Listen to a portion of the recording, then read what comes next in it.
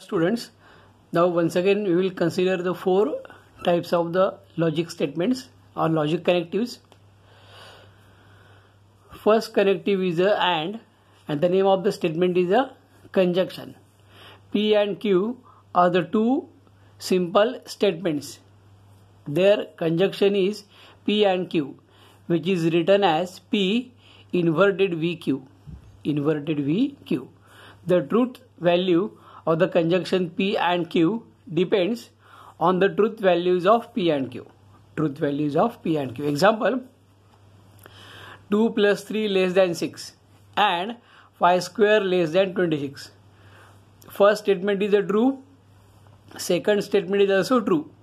That is P and Q is equal to T and T is equal to T. Capital T stands for true.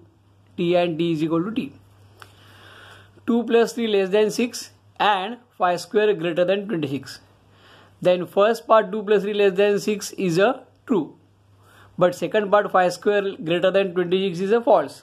Means it is a true and false. Therefore the combined effect of the complete statement is a false. Complete statement effect is a false. The result of the statement is a false.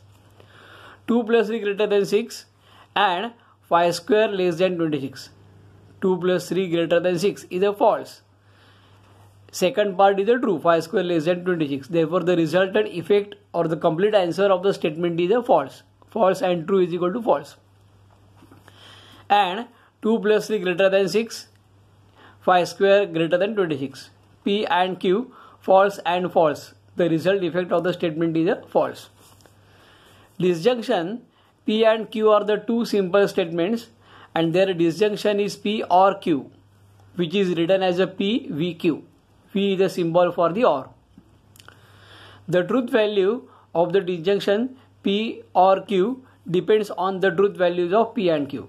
And each statement will have either true answer or false answer or true value or false value. In between results are not allowed. Example 2 less than 3 or Rome is in Italy. Rome is in Italy. P or Q first statement is a true second statement also true joined by or and the resultant effect of the complete statement is a true. 2 less than 3 or Rome is not in Italy. Means first statement is a true second statement is a false.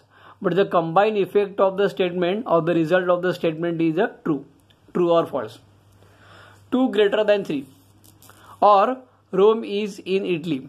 Now 2 greater than 3 is a false or Rome is in Italy is a true, therefore false or a true is equal to true. 2 greater than 3 or Rome is not in Italy, false or a false. The resultant effect of the combined statement is a false. Now and is like a multiplication, remember, or is like a addition. For and, for and as well as or, capital T is a replacement for the 1 and false for the 0. Therefore, 1 into 1 is 1 1 into 0 is 0 0 into 1 is 0 0 into 0 is 0 that way you remember the AND F stands for 0 T stands for 1 and for the OR T is 1 again 1 1 plus 1 is 1 actually for arithmetic it is a 2 but 1 plus 1 or higher voltage from voltage point of view plus higher voltage is equal to again voltage. Or another example I will give you. A student is a pass greater than 35 marks. Student is pass greater than 46 marks. Student pass greater than 90 marks. It is not like pass pass. It is a pass plus pass is equal to pass. Pass in two subjects pass in three subjects. Pass plus pass plus pass plus pass is equal to going to be pass 1 plus 0 is equal to 1. 0 plus 1 is equal to 1. And 0 plus 0 is equal to 0. 0 plus 0 is equal to 0. That way you remember for the OR result. Now, important statement is a conditional statement. Conditional statement. And this statement you will, you will understood by taking example. P and Q are the two simple statements and their implication is denoted by P arrow Q. P arrow Q or P implies Q. If P then Q. The truth value of P arrow Q depends upon the truth value of P and Q.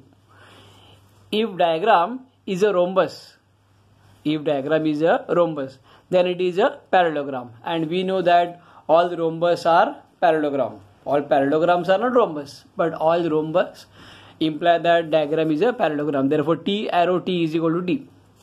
If diagram is a rhombus, then it is not a parallelogram. Is any such rhombus is available or we know that no. Therefore, P arrow Q, T arrow F is F and this is very very important. T arrow F is equal to F. Diagram is not a rhombus, maybe any other quadrilateral and that can be the parallelogram then it is a parallelogram it is possible and there are so many diagrams which are not rhombus but that can be the parallelogram therefore p arrow q f arrow t is equal to t. If diagram is not a rhombus then it is not a parallelogram. It is obvious. The combined effect of the statement is correct.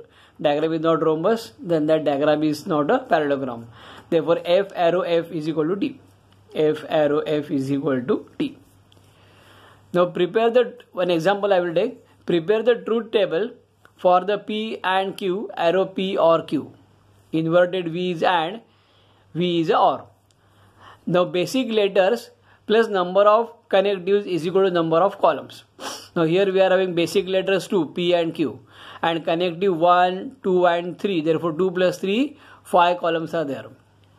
And for P there are two possibilities either the statement is a true or statement is a false therefore the pq combination will have four possible combinations both are true or p is a true q is a false or p is a false q is a true or both statements are false.